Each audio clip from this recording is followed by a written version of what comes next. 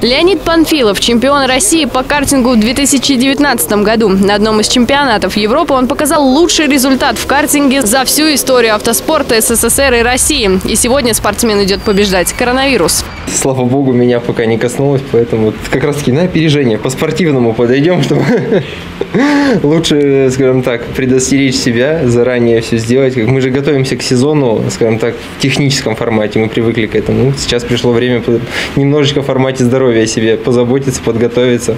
Прививку делают не сразу. Как и в спорте, фальстарт тут грубое нарушение. Поэтому перед вакцинацией тщательный осмотр. Давление, сатурация, пульс, аускультация. Спрашивают и о наличии противопоказаний к вакцине. Противопоказаниями для вакцинации является это э, острое инфекционное состояние, то есть температура, да, и непереносимость э, тех или иных вакцин. Есть какие-нибудь показания, вот что нельзя делать перед прививкой? А, перед вакцинацией желательно не употреблять за трое суток э, алкогольные напитки. Противопоказаний не нашли, и Леонид отправился на прививку. В это время его уже ждет размороженная вакцина.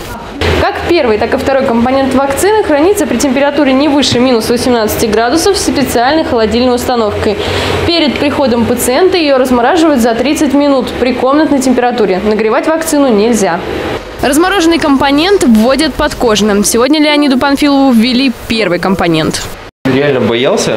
Ну, как бы, с детства же не любим прививки. Тут все хорошо, не больно. Я говорю, главное, что у человека рука набита, видно, что профессионал, я даже реально не почувствовал. И все, аккуратненько.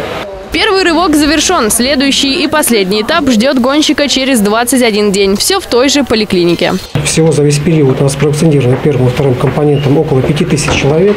В среднем в день мы вакцинируем около 150 человек, как и первым, и вторым компонентом. Провакцинироваться может каждый. Достаточно записаться через госуслуги или лично прийти в поликлинику. Главное не забыть СНИЛС, полис, ОМС и паспорт. Карина Лаврушина, Андрей Борискин, телеканал Первый областной.